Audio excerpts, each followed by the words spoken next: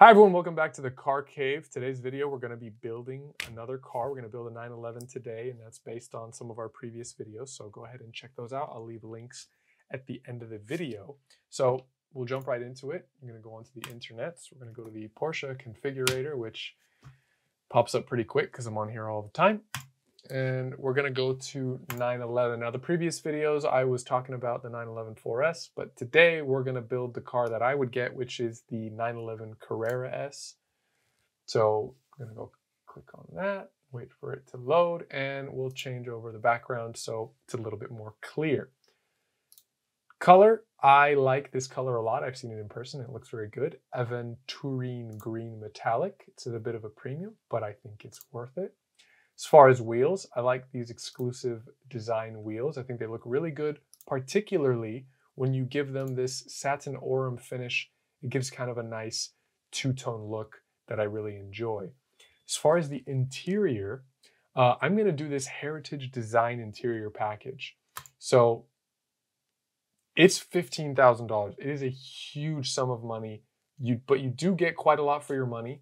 Uh, you get the sports seats, and we'll, we'll kind of go through those features as we move along. But the coolest thing to me is these dials. Look at that. That's so cool. I don't think you can get that anywhere else. So I'll show you if I remove it. Uh, if I just put a regular one, pay attention to those dials. They change back to the regular uh, standard black. So you get these exclusive green and white accents, which I think are really nice. And of course, you get the sports seats with the Porsche embossed into them. So that looks really good to me. And I like the Atacama beige. I think it goes very well with the Aventurine green that I chose for the exterior. So as far as packages, we've got the interior package.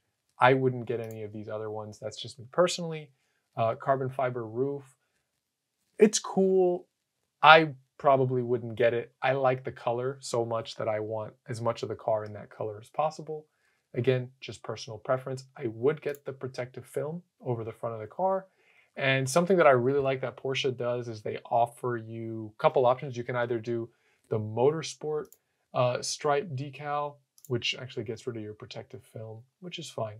Uh, so you could have this stripe down the center, and you can also have the Porsche logo on the side. I think this stripe down the center is a bit much, so I wouldn't do it. I would just do this Porsche one on the side. Uh, I think it looks really good. I'm going to go ahead and add back the protective film. Where did it go? Right here. Okay, great. Uh, that's about all I would do on the outside. There's, as you can see, so many options. So take a look at those. Performance-wise, uh, I would get PDK. I love a manual car. I'm not a big fan of having a manual in cars that are turbocharged. That's why I would do PDK here. Again, that's just personal preference. Uh, sports suspension, definitely. I want that uh, 10 millimeter drop sport chrono package. And there's a couple different options for exhaust. You can actually uh, leave these quad tip exhausts. This is kind of the standard exhaust, and you can do those in silver or black. Or you can opt in for the sport exhaust system, which gives these nice uh, two big exhaust ports. I like that more. Uh, so that's what I would choose. It gives the car uh, a different look, and I think it looks really quite good. Uh, extended fuel tank, 911s are driver's cars. I'm going to want to drive mine, so I think that would help. And the Porsche ceramic brakes. So I would put them on my car, but probably not for the right reasons. I love the look of the yellow calipers, uh, especially with this green and the satin Aurum wheels that I chose. So that's my main reason for wanting to do it. I just think it looks so much better. Quite a premium for essentially the color, but I also get some ceramic brakes. So uh, that's why that's why I would do it. Front axle lift. I teeter totter on this. I don't know if it's really needed. 911s are not so low that you really need that, so I probably wouldn't do it. Lights, uh, LED matrix headlights in black. I think those look really good. And exclusive design tail lights. That's a definite yes for me. That's gonna black out your tail lights and this little indicator up there. Lightweight noise insulated glass. I mean, that just sounds cool. I don't know if I would really need that though. Comfort, surround view. I love surround view. I just think it looks cool. You have to get folding mirrors, which sure, why not? Night vision. I need night vision uh, for situations that I'm sure will come up uh, sometime in the future. Active cruise control, I don't need. That's what my feet are for. Uh, do I need any of this stuff? So, something to think about with the Heritage package, you can't choose a lot of other options when you do the Heritage package because the Heritage package kind of builds out your interior for you.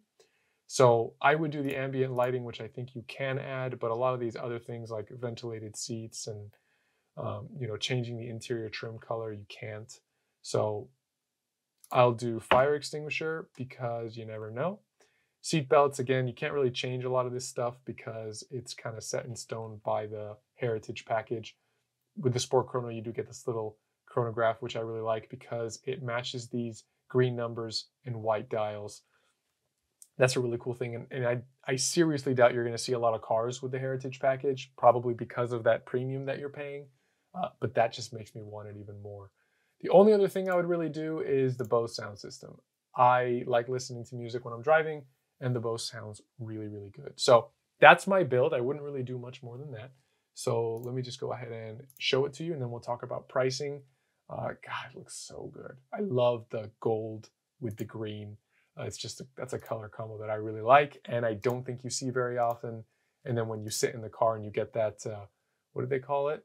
Atacama beige it's just such a nice looking color. Um, and then those green dials, of course, look really good. So I'm sitting at $51,470 in options, bringing us to a grand total of 169,920 for a Carrera S.